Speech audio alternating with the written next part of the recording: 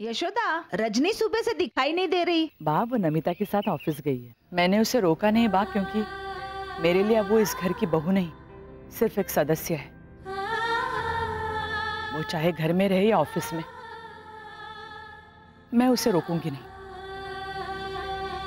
कमाल का तमाशा बना के रख दिया यशोदा भाभी। मुझसे खाना बनवा रही है और बहू को भेज दिया ऑफ़िस। रजनी को किचन से खुद निकाला है। अब कुड़कुड़ मत करो। हाँ तो क्या उसको ऑफ़िस भी मैंने ही भेजा है? बस सुरभि क्या कम थी जो अब ये भी। अरे वो गोपी को मनाने के लिए गई होगी। अब उसने गलती की है तो सुधारने की कोशिश तो करेगी ना। अच्छा ही है। लेकिन इस चक्कर में यशोदा मेरे साथ बहुत बुरा हो रहा है। मैंने सोचा नहीं था कि इस बुढ़ापे में मुझे इस बीड़ा के हाथ का खाना खाना पड़ेगा। क्या मतलब है बा? ए, मैं इतना बुरा खाना बनाती हूँ क्या? सुबह नाश्ते के टाइम में सबने मेरी कितनी तारीफ़ की थी। यशोदा! किचन फिर से रजनी को संभालने दे दे। अब खाना मैं बनाऊँगी बा। तुम? हम रजनी की आदत ना डाले तो अच्छा है।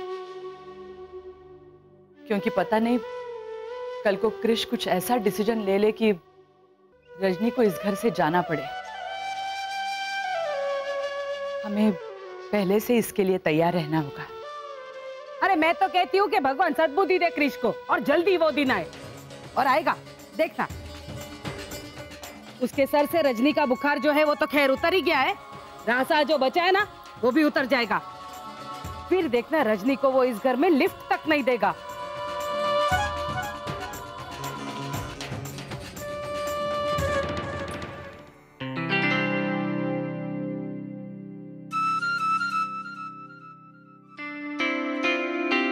बिना बुलाए, बिना नॉक किए, अपने बॉस के कैबिन में आना। गलत बात। सुबह बताया था मैं। डिसिप्लिन नाम की कोई चीज़ से कभी पाला पड़ा है आपका? डिसिप्लिन एम्प्लॉयज़ के लिए होता है बीवी के लिए नहीं। मैं जानती हूँ आजकल आपको भूख नहीं लगती लेकिन खाना ज़रूरी है। ये बीवी का नाटक बंद कीजिए। जिस काम के लिए आपको यहाँ रखा गया वो काम कीजिए। मैं डिक्टेशन दे रहा हूँ उसको नोट कीजिए। पेन और पेपर उठाइए। Dear mister Patel this is to break ध्यान कहाँ है आपका? ये ऑफ़िस है। मोबाइल अंदर रखिए और काम कीजिए। मेरा ध्यान तो आप ही पर रहता है सर आप डिक्टेशन दे रहे थे ना? बताइए। Dear Mr. Patel, this is to bring to your kind notice that we from Kanaya Cheese take immense pleasure. अंग्रेज़ी में?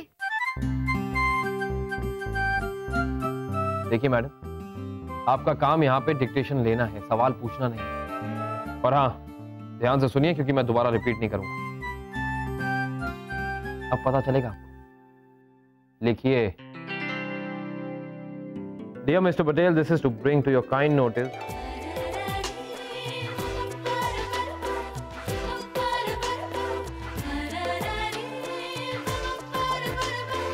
thanks Krish Vaishnav हो गया? वेरी गुड अब जाके इसे टाइप कीजिए और ईमेल भेजने से पहले मुझे एक सॉफ्ट कॉपी फॉरवर्ड कर दीजिएगा। और हाँ अगर एक भी स्पेलिंग मिस्टेक या पंक्चुएशन एरर हुआ तो ये जो टिफ़िन है, कल से मैं खुद खोलूँगा। समझ गई ना? इंग्लिश तो आती नहीं है इसे अब देखता हूँ ये लेटर कैसे टाइप करती है।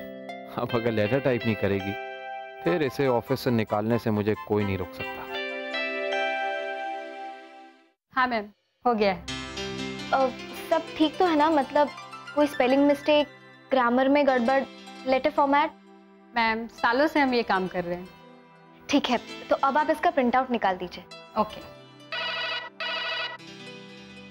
hello yes sir sorry sir मैं अभी आई। मैम अर्जेंट कॉल आप प्रिंट आउट निकाल लीजिए प्लीज़ मुझे जाना है।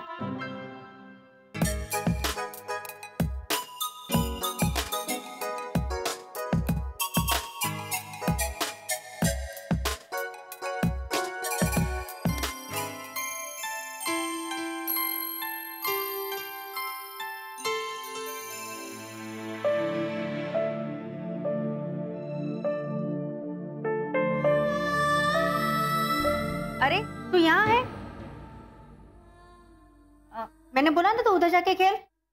सॉरी मैडम क्या है ना घर पे कोई नहीं है ना इसलिए यहाँ लेके आती हूँ। कोई बात नहीं ये लीजिए। चल बेटा।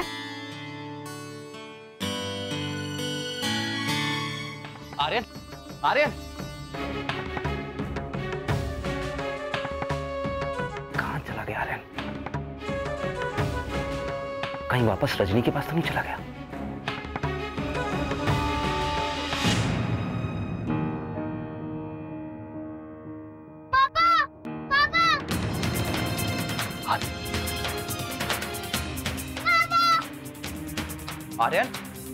आर्यन आर्यन आर्यन बेटा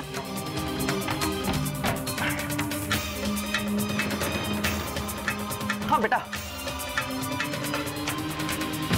आर्यन पापा बेटा बेटा तुम ठीक तो हो ना सांस लो लंबी लंबी सांस लो ये कैसे हो गया? दरवाज़ा मैंने ही बंद किया। मुझे क्या पता था कि वो अलमारी में छुपा होगा। बेटा अलमारी में क्या कर रहे थे आप? मम्मा का वेट कर रहा था मैं। मुझे लगा कि वो भगवान के पास से मुझे देख लिएगी तो आके ढूंढ लेगी। बेटा ऐसा क्यों करते हो आप? आगे से नहीं करोगे ना? अगर आपको कुछ हो जाता तो? जिम्मेदार तुम होते।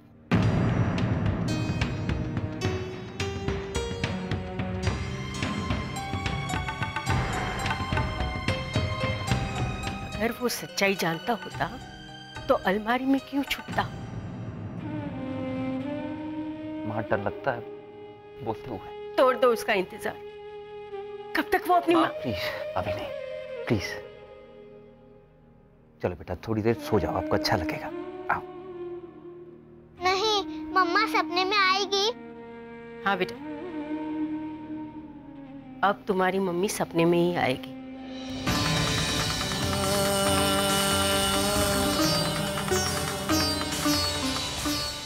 वो लेटर टाइप कर दिया तुमने? सर लेटर रेडी है। एक्चुअली मुझे प्रिंट आउट निकालना नहीं आता। नहीं नहीं प्लीज़ रहने दो। मैं गारंटी के साथ कह सकता हूँ कि कम से कम सौ गलतियाँ की होंगी तुमने उसमें। और अगर एक भी गलती ना हुई तो? अगर एक भी गलती नहीं हुई ना तो तो मैं खुद तुम्हें प्रिंट आउट करना सिखाऊँगा। खुद मैं। ठीक है आप देख लीजिए।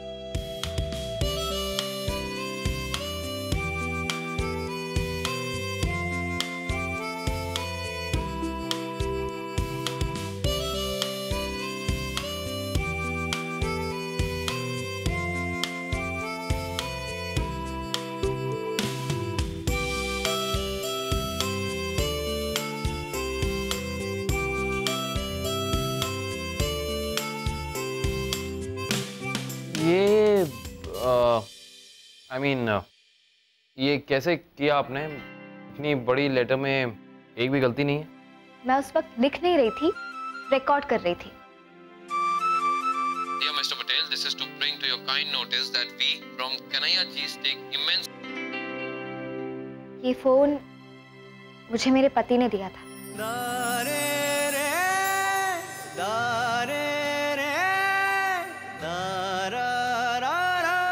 तो सर प्रिंट आउट कैसे निकालते हैं? ओ, आइए बैठिए। दिखाता हूँ। दाना ना देरे ना देरे ना देरे ना दारे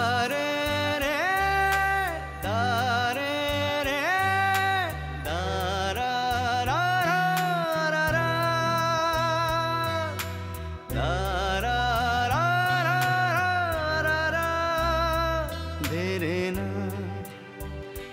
देरे ना देरे ना देरे ना ओके देरे ना डन आप मेन प्रिंटर से जाके इसका प्रिंट आउट ले आइए तब तक मैं इसे ईमेल कर देता हूँ। जी सर रजनी रुको। ये सब करके क्या प्रूफ करना चाहती हैं आप? हाँ? क्या हासिल होगा? देखिए जो क्रिश आपके प्यार में पागल था डूबा हुआ था वो अपना प्यार लुटाकर कहीं जा चुका है। और अब वो वापस नहीं आने वाला।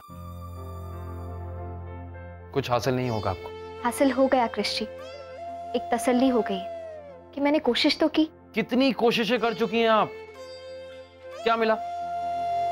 ये बेफिजूल की ये ये मुश्किलें अड़चने बस और कुछ नहीं। मैं कोशिश करती रहूँगी। मैं फिर से कह रहा हूँ कि कुछ हासिल नहीं होने वाला।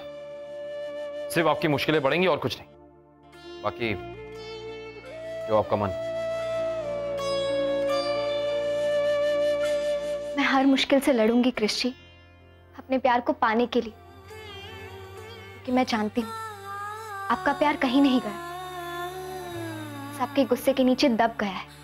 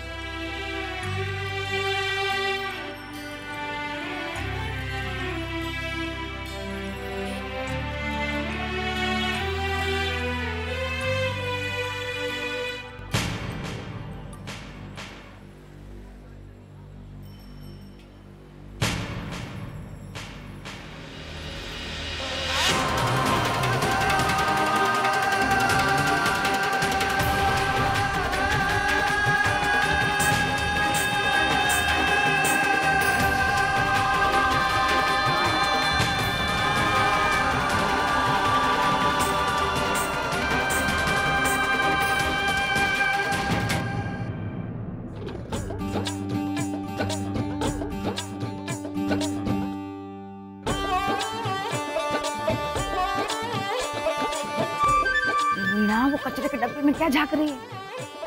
उसमें कोई खाने की चीज़ नहीं है। क्या बात? मैं क्या कचरे के डिब्बे में से ढूंढ ढूंढ के खाती हूँ? तो फिर कचरे के डब्बे में क्या ढूंढ रही? चॉकलेट का रैपर ढूंढा है ना बा। इसने खाया होगा तो रैपर तो इधर ही डाला होगा ना। कुछ भी बिना सोचे समझे मत बोला कर मीना तुझे क्या नमिता इतनी समझदार लगती है कि चॉकलेट खाकर वो रेपर इस कचरे के डब्बे में फेंकेगी? लेकिन तू एक बात कान खोल कर सुन ले। अगर चॉकलेट इस कमरे से नहीं मिला तो ये साफ़ साफ़ साबित हो जाएगा कि मेरे कमरे से चॉकलेट तूने ही चुरा है अरे बाप! अगर मुझे चॉकलेट खाना होता तो मैं चोरी क्यों करती? तुझसे मांग लेती और मैं तुझे दे देती। हाय हाय ये क्या? हाय हाय बाप पिक्चर की टिकट! आप लोग आप लोग मेरे कमरे में क्या कर रहे हो? पहले तू ये बता कि ये पिक्चर की टिकट कहाँ से आई? थिएटर से आई और कहाँ से आएगी? ऑफ़िस में कुछ काम नहीं था तो चली गई पिक्चर देखने। लेकिन दो दो टिकट क्यों है? मुझे पिक्चर अच्छी लगी इसलिए दो बार देखी। अरे वाह एक ही शो दो दो बार देखा। पहले तीन से छह का एक शो देखा फिर फिर से घड़ी में तीन बजाया फिर फिर से वही शो देखा। मुझे क्या उल्लू समझ के रखा है? यशोदा भाभी! ओ यशोदा भाभी! ए बाहर आओ जल्दी यशोदा भाभी। हाँ हाँ आ रही हूँ। क्या हुआ? क्या किया नमिता ने? ए भाभी अब तो अंतर्यामी निकली। आपको कैसे पता चला कि मैं नमिता की बात बेन आप और बा जब शिकायत के अंदाज में आती है ना तब खुद पता चल जाता है कि नमिता की ही शिकायत होगी। क्योंकि इस घर में सिर्फ़ नमिता है जिसे आप दोनों हैंडल नहीं कर पाते। आजकल आपकी बहू भी तो है। आप क्या फास्ट ट्रेन में पटरी चेंज कर रही है वीना बुआ? मेरी शिकायत करना है तो मेरी शिकायत कीजिए ना। क्यों फालतू में बीच में भाभी को ले रही है? पहले तू ये बता कि तू इतनी जिम्मेदार बनी फिरती है। ऑफ़िस में चार घंटे भी नहीं बिताएगा तुझसे। मेरा काम मेरी असिस्टेंट संभाल रही थी ना। मेरे लिए कुछ बचे ही नहीं था करने को। हाँ तो क्या तुम पिक्चर देखने चली जाओगी? अरे ये एक नहीं हज़ार पिक्चर देखे ना वज़ू भाई। लेकिन इसके पर्स से पिक्चर की दो दो टिकट क्यों निकली? ये तो कोई पूछो जवान बेटी से। एक मिनट एक मिनट। मैं आकाश के साथ गई थी पिक्चर देखने।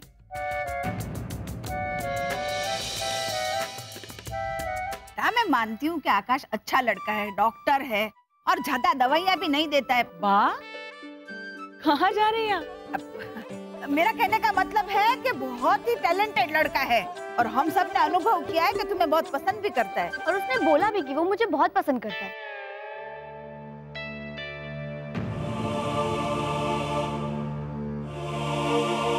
और मैंने उसे बोल दिया कि जब तक मेरे घर में किसी की छोटी सी गलती को बहुत बड़ा पहाड़ बना के बैठे तब तक मैं तू क्यों बिना फ़ीस की वकील बनी फिरती है रजनी की है? क्योंकि उनकी एक छोटी सी गलती के लिए सब लोग उनको सूली पे चढ़ाने के लिए तुले हुए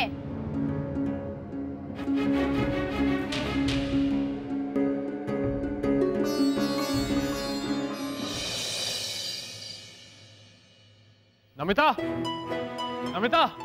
क्या है भैया? नीचे आओ।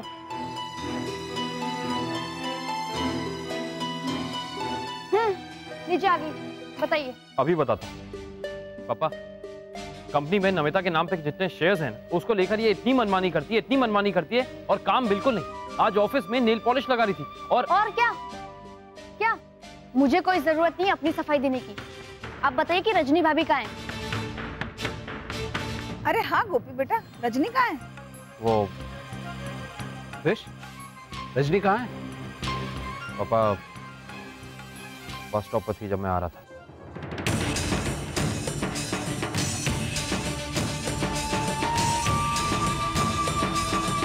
बस स्टॉप पे?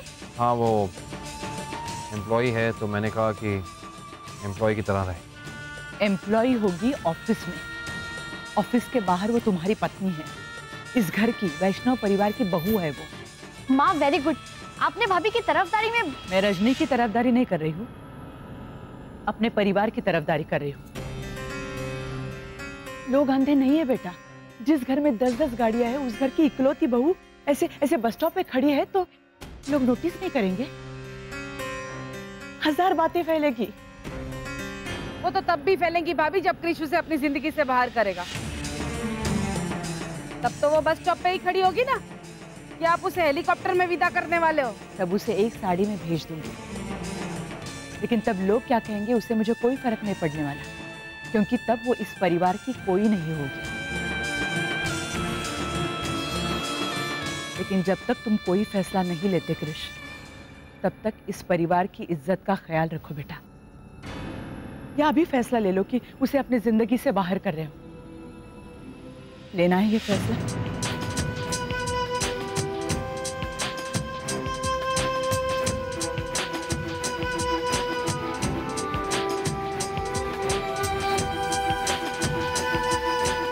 ये फैसला भैया ले ही नहीं सकते मॉम। अगर ये फैसला ले लिया तो वो गलत फैसला होगा। माँ ये नौटंकी अपना फैसला मुझ पर थोपने की कोशिश कर रही भैया मैं अपना फैसला आप पर थोप नहीं रही हूँ। मैं सिर्फ़ अपना नज़रिया बता रही हूँ। एक झूठ पर सबने भाभी को कटघरे में लाकर खड़ा कर दिया है। लेकिन एक बात बताइए मुझे आखिर वो झूठ सबके सामने आया कैसे? क्योंकि भाभी ने सच बताया? अगर इन्होंने ये सच छुपा लिया होता तो क्या हमको ये सब पता चलता? अरे एक सच बोलने से हज़ार झूठ बोलने का पाप धुल जाएगा क्या? आप तो प्रेजुडिस होकर भाभी के पीछे पड़ी हुई है। हम उनकी माँ की गलती की सजा उनको क्यों दे रहे हैं? ये बहस हम बाद में कर लेंगे कृष तुम पहले बस स्टॉप जाकर रजनी को ले आओ। जाओ। एक मिनट। सही कहा आपने। बहस हम बाद में भी कर सकते हैं। लेकिन बहुत जल्दी हमें किसी फैसले पे आने की ज़रूरत है। कृष बेटा इसी मुद्दे पर सबकी ज़िंदगी अटकी हुई है। जाओ उसे लेकर आओ जी। कृषि रुकिए।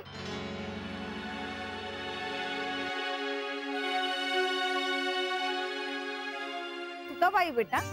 मैं इनसे पहले ही आ गई थी। मुझे एक्सप्रेस बस मिल गई थी जो एक ही स्टॉप पे रुकती है। मैंने इनकी गाड़ी को देखा भी पंचर हुई पड़ी थी। और ट्रैफ़िक नहीं मिला तो इनसे पहले आ गई। जिसे अपनी मंजिल का पता होता है, उसका हर रास्ता क्लियर ही होता है भाभी। और जिसे पता नहीं होता है, उसके दिमाग में पंक्चर हो जाता है। है ना, कृष्ण भैया?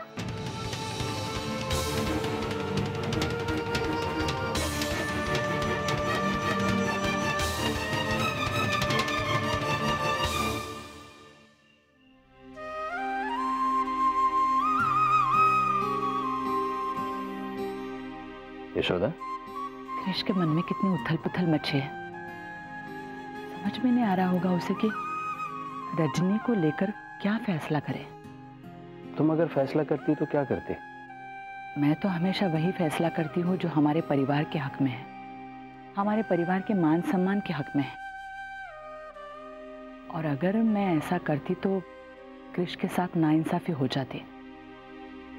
क्योंकि रजनी के भविष्य का फैसला करने का हक सिर्फ़ और सिर्फ़ कृष को ही है।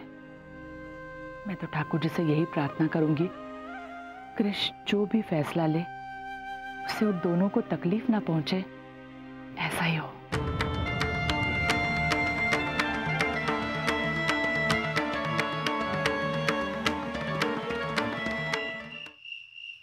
वाह वाह वाह यशोदा भाभी। अरे मैंने तो मन्नत मानी थी कि इस घर में आऊँ और आपके हाथ का बना खाना खाऊं।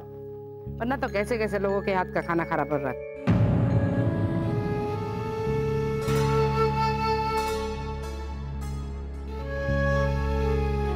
यशोदा बेटा मीठे में क्या बना है?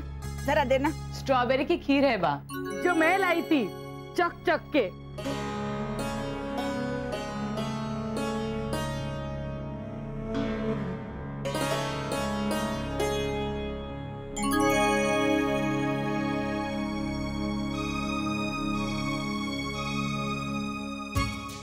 वाह वाह वाह बिना शक्कर की एकदम मीठी मस्त खीर बनाई है। खाओ खाओ सब लोग जम के खाओ। शक्कर के बिना भी ज़बरदस्त मीठी है क्योंकि यशोदा भाभी ने बनाई है ना। किसी और का हाथ लगता तो शक्कर भी नमक लगता।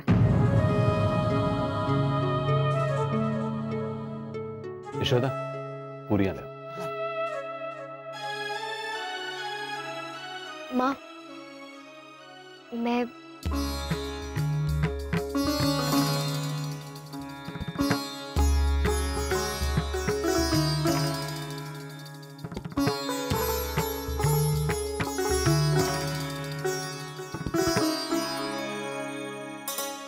मुझे दो पूरी दे।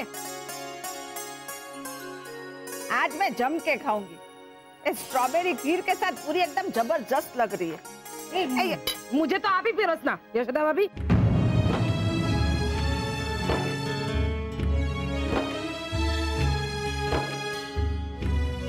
यशोदा तूने खीर चखी के नहीं? अब तूने बनाई है तो चख तो ले। अब चखूँगी।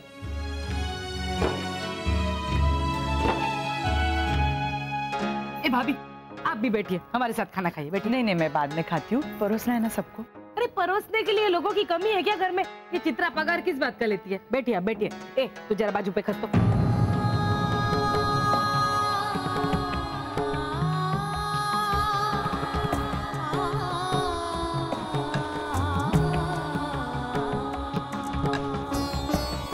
आप लोग चाहे मुझसे कितना ही रूखा व्यवहार कर लीजिए लेकिन मैं हार नहीं मानूँगी। मैं आप सबका प्यार वापस जीत कर ही रहूँगी।